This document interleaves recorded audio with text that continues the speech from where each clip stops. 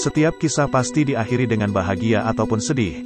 Dalam episode kali ini, teror sang penunggu akan berkisah tentang legenda Dampu Awang dan Nyi Ageng Benda.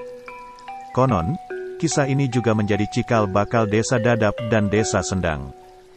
Namun sebelum lanjut pada kisahnya, silakan subscribe dulu channel ini, agar kalian tidak ketinggalan kisah-kisah legenda, sejarah, misteri, dan mitos yang ada di negeri ini.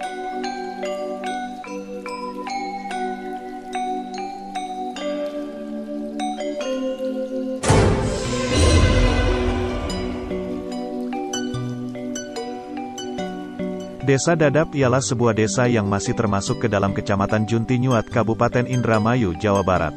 Sementara kisah legenda bertambah lebarnya laut di sisi utara dan timur ini tak lepas kaitannya dengan Dampu Awang dan Nyi Ageng Junti pada masa itu.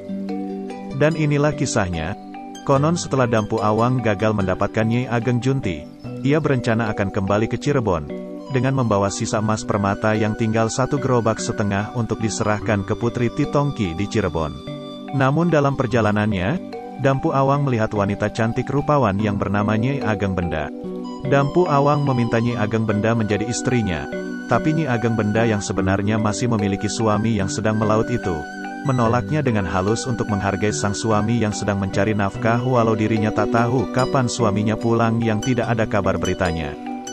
Sementara itu, Dampu Awang memaksa secara halus pada Nyi Ageng Benda, Akhirnya Nyi Ageng Benda membuat strategi dengan memberi syarat pada Dampu Awang minta dibuatkan keraton dalam waktu semalam.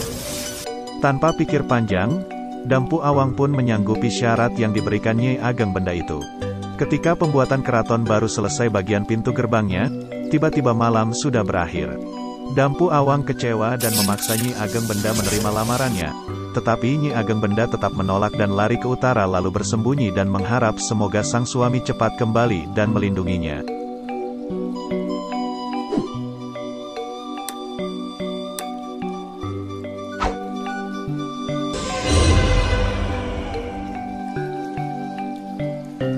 Dampu Awang marah dan berusaha menemukan persembunyian Nyi Ageng Benda dengan menaburkan emas di sepanjang jalur pelarian Nyi Ageng Benda sampai ke pesisir laut yang penuh pohon dadap. Namun Nyi Ageng Benda tetap tidak bisa ditemukan oleh Dampu Awang maupun orang lain.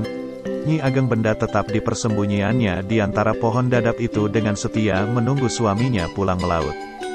Tidak disangka, alam menghargai kesetiaan Nyi Ageng Benda dengan memperlebar pantai dadap agar Nyi Ageng Benda bisa melihat kedatangan suaminya dari laut itu. Sedangkan Dampu Awang yang tak berhasil menemukan Nyi Ageng Benda pun, akhirnya kembali lalu melanjutkan perjalanannya ke Cirebon. Sementara, satu pedati atau gerobak tempat emas dan permata yang sudah kosong itu ditinggalkannya begitu saja di desa Kerangkeng, dan sampai sekarang disimpan di belakang kantor desa. Begitu juga di blok benda desa Sendang. Di sebelah utara lapangan bola masih ada bangunan pintu gerbang yang belum selesai dibangun Dampu Awang waktu itu dan masih bisa dilihat sampai sekarang ini. Sementara, nama desa Sendang sendiri mungkin berasal dari sebuah kolam pemandian di Taman Blok Cilantir yang sekarang sudah kena abrasi air laut.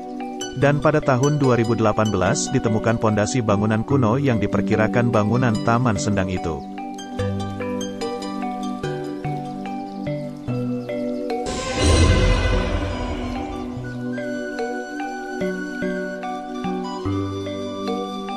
Dan, jika ada anggapan buruk tentang wanita-wanita dari desa Dadap dan desa Benda yang katanya materialistis dan tidak setia, itu merupakan anggapan yang salah besar dan sangat keji.